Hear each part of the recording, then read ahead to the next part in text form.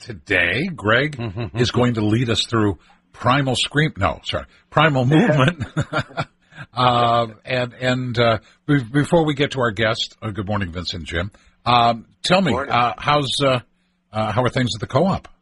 Oh, things are going well at the co-op. Uh, uh, still very, very busy. Curbside uh, pickup for all is is working great. Uh, awesome. and uh, the rounded up at the register this this past uh, month. It was the uh, Live and Let Live uh, Rescue Farm, and they're about twenty five hundred on the month. So Oh, awesome. um, donations to that program have actually um, fallen off quite a bit because the uh, it's just that we we have less customer flow, but when customers are in the store, they're um, they have uh, considerably more in their basket. But um, and then also the curbside pickups a little bit, uh, uh, I guess a little bit more awkward to be um, asking the question, do you want to round up? But uh, there, the the program that started last April um, is is uh, very close to having raised fifty thousand dollars uh, um, for Wow. local nonprofits. So program's still going very very well. Um, and today, uh, if people are looking for a uh, something for lunch or dinner, they start rotisserie chickens at the uh, Grab and Go. So Ooh. day one for rotisserie chickens at the Concord Food Co-op. Oh wow! And and you know uh, the the, the twenty five hundred is still uh, the donations for nonprofits have fallen off across the board. So somebody walks in with twenty five hundred. That is a godsend, Greg. Um, yeah, it, it is, and, and, and to your point, donations haven't uh, just fallen off, but the uh, um, events, you know, they, the, the Right. nonprofit sector very much depends on uh, um, hosting fundraising events, and, and those have just come to a screeching halt Yep. with really no idea when to redo them. I think uh, most uh, not most uh, nonprofits are just looking to uh, 2021 at this point. So if you have a favorite uh, nonprofit that you support, I think they the vast majority of them could use your support now more than ever. Oh, abso- absolutely. Well, well said. Uh, who is who is your the recipient of Rounded Up next month? Uh, uh, Equality uh, Health uh, Center on uh, Main Street. Oh, okay. All right. Yeah, they were uh, very. Uh, um, I wasn't that familiar with the organization, but they uh, had a, a ton of votes. So uh, it was last August that every time you shop, you were able to uh, uh, place a vote for the nonprofit of your choice. There were probably 60 on the board, um, and, and that was one of the, the top 12. Well, and and you know, it's incumbent upon you. Uh, it's incumbent upon us uh, during this time to shine the spotlight as much as we can on the nonprofits uh, in terms of dollars or just attention to to remind people that the issues that created these nonprofits still exist and and they still need your help as you pointed out so whether you give whether you volunteer or at least as long as we can keep talking about it uh, that's a huge help Yes, it is. Yes, it is. And yeah, they they always have the opportunity to. Um, they uh, usually have a rack card uh, at the uh, Concord Food Co-op that, that provides information about them, and uh, uh, it's also a link on our website where the Rounded Up the Register program is. So we try to, you know, provide as much exposure to the organization uh, as we can during their uh, their spotlighted month for them. Excellent. So uh, uh, today you've got uh, Jim and Vincent. Um, what primal movement? What is that? Walking like a caveman? What am I doing?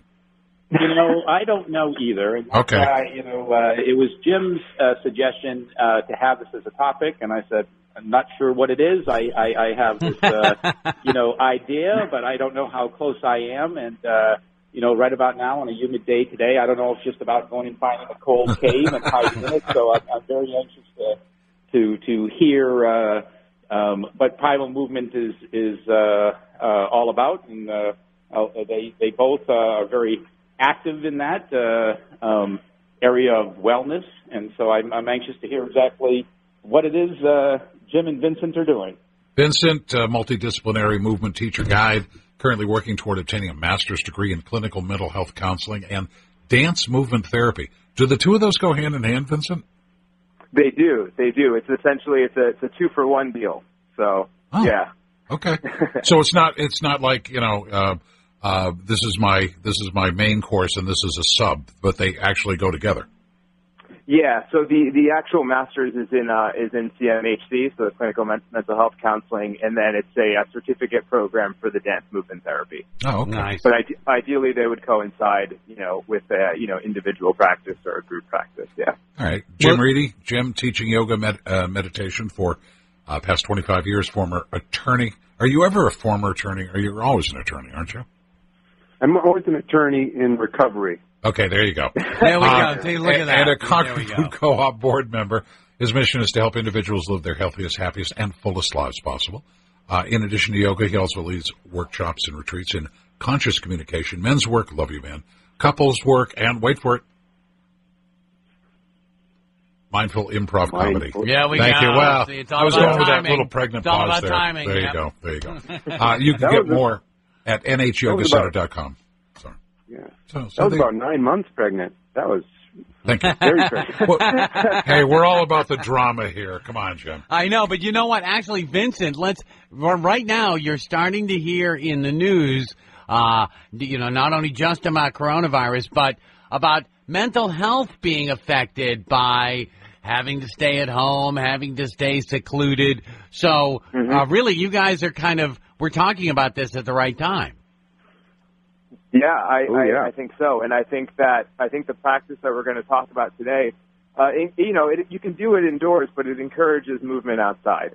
And I think one of the issues that people are facing right now is there is there's definitely a fear or apprehension of wanting to spend time outside and in nature. So, you know, hopefully we can encourage people to do that, you know, safely and uh, in a, from a social distancing standpoint, but also to you know for their mental and physical well-being. And and how how does that help my physical? And I mean, I understand the the movement involved, but how does it help? How does it help? Well, I mean, there's a lot of studies now that show the correlation between physical well-being and, and mental wellness, right?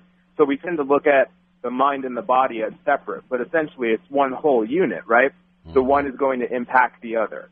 So I know for myself, you know, I have a I have a daily movement practice, and I know that when I don't tend to myself in that way with that movement practice, if I miss it or if it lacks in some way, then I find that my my mental well-being also sort of suffers.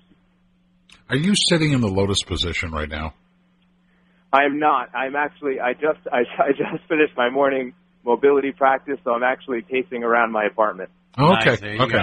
Because I've seen you do that, and it's like, wow, that must hurt. But okay, um, I don't know how you, You do used it. You're, it. you're just limber, man. I, I, I you know, uh, Jim, you've been teaching yoga and, and meditation, and some people, you know, yoga. Uh, okay, what is this? But they've been doing it for what, two, 2,500 years, so it's not a new concept. No, it's not new age at all. Some people say it's at least five thousand years old. Oh, wow. But yeah, it's it, it's it's a it's a very natural way to move in our bodies and be in our in our bodies, Mhm. just as the animal movements that we're going to talk about today, the primal movement, very natural, very organic. It's not a new phenomenon. That- the fact that we're rediscovering it. So, so we okay. We're rediscovering it, yoga and meditation and primal movement. But again, as you pointed out, they could have been they, quote unquote, uh, could have been doing it for up to five thousand years. But they didn't start.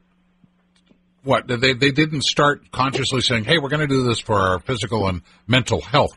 Uh, but or did they? I don't know.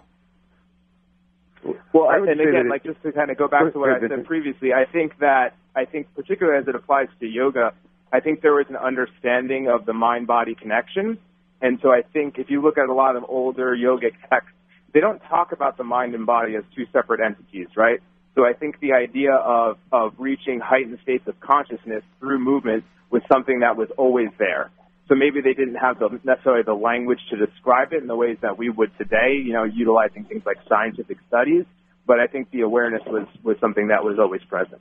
Oh, okay, mm-hmm. okay. And I think you know what I, I think I, it's really funny how something physical can help your mind focus. You know what I mean? It's not just like Yeah. okay, my mind can go off and do something else because I'm being physical right now. No, the physicality of what it is that you guys do it brings your mind into focus, and isn't that a wonderful thing for a few minutes every day? Oh yeah, Can- for can- sure, without can a doubt. And I mean, just if you look at it from a, a neurological standpoint, I mean, we're talking about you know, physical movement releasing certain chemicals in the brain Mhm. that help to improve things like cognition, help to improve things like to combat depression, to increase our capacity for joy. Yeah. Mhm. See, for me, so, so uh, what is oh, what I'm is sorry. the actual primal movement? yeah. What what are you what is the movement or what are you doing? Uh, what does it consist of? Well, I'll say just a little bit, and then we'll hand it over to Vincent because I think he's done a little more research than I have on this.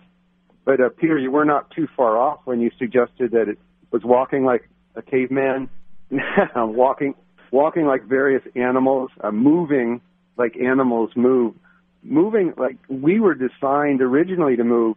If you think of us as being descended from apes or, or monkeys or chimpanzees, uh, holding on to tree limbs, swinging from tree limb to tree, climbing trees, uh, yeah, just moving on all fours as opposed to just on uh, being bipedal, moving on just two two legs. Huh. Uh, Vincent, Vincent, go ahead. You've you've shared, you've uh, done a little more research, I think, than I have. Yeah, and and I, I think Jim, I think you did a really good job of describing it. And I, you know, I think just to just to kind of create a little context, you know, primal movement is just the way that you know Jim and I and, and some other people choose to describe it, but it's known as other things like animal locomotion, animal flow. Some people even call it natural movement because it's that idea of returning to how humans, maybe even our ancestors moved, right? But yeah, Jim made a good point. So it's a shift away from bipedal movement, so things like walking, running, jumping, right, doing things on our legs, to focusing our attention to the floor or the ground. So quadrupedal movement, so moving on all fours, which, you know, is something that might seem like simple, but when you really start to engage, particularly when you're moving from one place to another on all fours, it's actually extremely difficult. And the idea of it being beneficial to the body is that you're really engaging multiple muscle groups at one time, right? So hu- humans, we tend to have very stronger lower bodies, but our upper bodies have imbalances because we don't utilize them in the same way that we use our legs with the same level of frequency. So, so humans became bipedal um, Mm-hmm. be, because I'm assuming, as, as you pointed out, um, it would free up the hands. I mean, you had the hunter gatherer. It, it freed up their Yep. hands for carrying and using tools, right? Exactly. Yeah. Thank you. Okay. Okay. And as they migrated, um, you know, migrating from Siberia to different parts, uh, I guess environmental, uh, to, to, to different environments would necessitate, uh, going bipedal as well, right? Right. Exactly. Okay. Yep. All right. I'm, I'm there. I'm getting there. Yeah. I'm a slow learner, but I, I'm getting there. Yeah. All right. But, but even with but even with that said, you know, the idea of you know the body is is still very functional in in that quadrupedal form. It's just again, like Jim had mentioned, it's just something that we've sort of forgotten how to do, but our bodies can still remember it. You know, it might take a little bit of time to develop and practice to sort of build up those smaller muscle groups that we may not have be utilizing through contemporary exercise, but there is definitely a way to reconnect it. so am I like walking around on the floor, uh, with hands and feet? Yeah, I mean that would be that would be a start of it. Okay. Um, I think you know you can scale it. I think most people, the way that I would uh, coach it, if I was working one on one with someone or in a group setting, I would start by having them on all fours. So kind of in a you know in, in yoga we call it you know the cat and cow position, which is where you you elongate the spine and then uh, retract it, creating a rounding in the back. Mhm. I'd have them start in that position and then gradually press into their palms and the balls of their feet to start to lift their knees off the floor, which is going to obviously engage your abdominals, your core muscles. Um, so for people, that would be a starting point, and I think most people would find that exceedingly difficult. And then, you know, the following movement after that would be to move in a um, homolateral way. So moving, say, the right arm forward, and then the left leg, then the left arm uh, forward, and then the right leg. Oh, Um, Vin- okay. Okay. Yep. Vincent, can Does you make make the distinction between um, uh, that and yoga? What's what you know? It, it sounds like a lot of the, the same motions of, of uh, yoga. So what is the what is the difference? Do you want to speak to that, Jim? Yeah, I'll- I'll just speak quickly to that. that I've noticed that a lot of the yoga postures that we do and the animal or primal movements that we do are are extremely related. They're almost identical. The only difference being in many cases is that in the primal or animal movements we're moving, and in in yoga we sometimes call them postures or poses because we're just holding it still. Mm-hmm. But many of your listeners may be familiar with the downward dog uh, if you start to move the downward dog, moving your hands and your and your uh, feet across the room or across the yard, we might call that the bear walk. Uh, Mhm. But it's it's a, a lot of the yoga postures that we would do on all fours. Ah. If you just start moving them, you'll be doing uh, pretty much a, an animal movement. Wow. Wow. Now, is this is this a, a whole subspecialty, uh, or or is this? Um, I mean, something that would get me more into uh, yoga, uh, or is this just you know um, part of the part of the whole picture? I'm going to say something Yeah, I mean- pretty radical. I, I just really, I'll say this quickly, Vincent. I, think if, if you started doing animal movements, you might not ever even bother with yoga No kidding. Wow. because it's the same. Because it's the same thing as I was just saying. It's the same po- poses or postures mm-hmm. or positions, but mm-hmm. just in movement. So it really is yoga, but a, a lot of people won't necessarily recognize it these days as yoga. Am I getting the same mental acuity and the, the benefits from from the primal movement as I would be from yoga?